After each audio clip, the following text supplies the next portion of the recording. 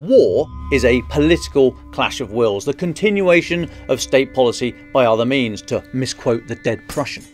The shooty shooty bang bang side of things is largely a left brain activity, logical, analytical, procedural.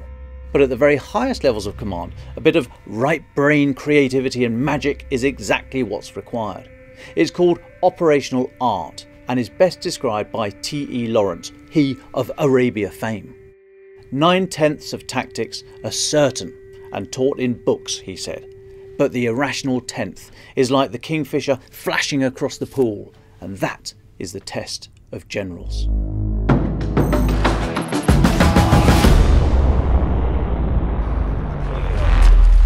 Дадим стране угля? Так точно.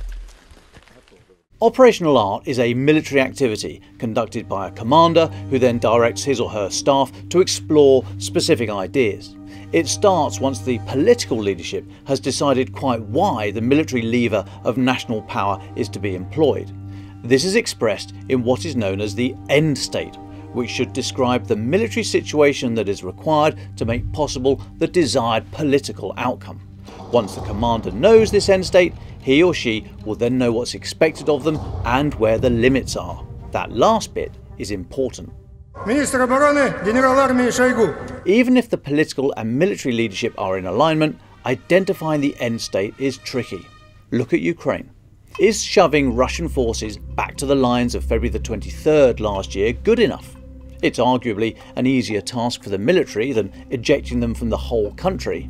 But will that only store up problems for the future? Is it domestically acceptable? Look at another example. Coalition forces went into Afghanistan after 9 11 to destroy Al Qaeda and make sure the place couldn't be used as a sanctuary by those wishing to attack the US and the West. That objective was achieved in about three months, but then the end state, if one had ever really been identified and agreed upon in the first place, changed and became something about shaping the political landscape, transforming the economy, and changing society. It was all a muddle and couldn't stand up to a determined and single minded enemy in the form of the Taliban. Operational art is that bit of military activity that knits together the end state at the top with the tactics and procedures of the battles at the bottom. It is a wicked test of a commander's judgment. Think of the military as an orchestra. Now, each individual musician may be well on top of his or her game, but when they're tuning up, the whole thing sounds like an absolute mess. Once the conductor calls the ensemble to order, this cacophony of noise has the potential to be transformed into a powerful and overwhelming thing of beauty. So it is with operational art. Like a conductor standing in front of an orchestra, a military commander has to balance a whole host of competing demands. Whilst the tanks may be fully fueled and ready to go, the artillery might still be waiting for ammunition. The engineers haven't finished training on their new bridge laying equipment, the infantry are exhausted from their last effort, and the Air Force haven't yet settled their hotel bills. All in all, the pieces just aren't ready to go yet as a coherent force. However, it is to invite disaster to commit men and women to combat by hoping they'll sort it all out on the ground or by giving in to the demands to do something through sheer frustration. There's quite a lot of frustration regarding the war in Ukraine right now, with some observers, usually those who don't really know what they're talking about, questioning why Ukraine hasn't defeated Russia yet, seeing as the counteroffensive was launched in June. Well, let's go back to the orchestra. Even if all the musicians are on top form, they've tuned up and practiced with the other elements, getting them all to blow, pluck, fiddle, and drum at the same time makes for a very obvious and unwelcome spectacle. It's all in the timing and the relative priorities given to one element over another. It's the same with military campaigns. You don't want it all fortissimo, very loud, a little pianissimo, very soft. Now and again can work wonders for the piece as a whole. So, what's to be done? Well, first, a commander needs to have a thorough understanding of the states of readiness of the forces under his or her command. Where are they, for starters? How combat effective are they, i.e., how close to what they should be on paper are they in reality, having had a few scrapes with the enemy? Have they got full stocks of fuel, ammunition, food, and water? Next, the commander needs an intuitive feel for the military intangibles. Which unit has the higher morale? That one that's just taken an absolute pounding but has an energetic, charismatic and well liked boss, or that one that has taken far fewer casualties but doesn't seem to gel for some reason? Are they fighting for each other or for glory? And if the latter, does that mean they'll buckle when things get really tough? So that's the commander's own force. Next, what about the enemy? The same questions of size, strength, and morale have to be asked, of course, but laid on top of all those considerations are others. First, and we've discussed this before on Defence in Depth, the commander has to decide what the enemy's centre of gravity is, that single element that, if threatened or destroyed, can cause the whole enemy effort to collapse.